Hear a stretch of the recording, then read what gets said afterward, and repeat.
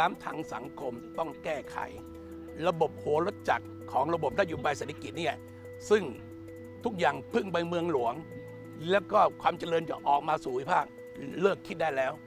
ต้องกระจายรายได้ กระจายโอกาส กระจายการศึกษาสู่หัวเมืองภูมิภาคให้หมด แล้วกระจายออกไปออกไป เพื่อดึงประชาชนจากส่วนกลางมาส่วนภูมิภาค เพราะเรื่องเทคโนโลยีต่างๆ เรื่องการสื่อสารต่างๆเหล่านี้ อยู่กรุงเทพอยู่หัดใหญ่ อยู่สะเดาอยู่สมุยอยู่สุราษฎร์เหมือนกันหมด ไม่จำเป็นทำงานที่กรุงเทพทำที่บ้านเราบ้านเกิดเราได้หมดแล้วฉะนั้นเรื่องกระจายโอกาสกระจายรายได้ กระจายการศึกษาต้องทั่วถึง ทุกคนมีศักดิ์ศรีเท่ากัน ไม่ว่าคุณอยู่อยู่กรุงเทพหรืออยู่ต่างจังหวัด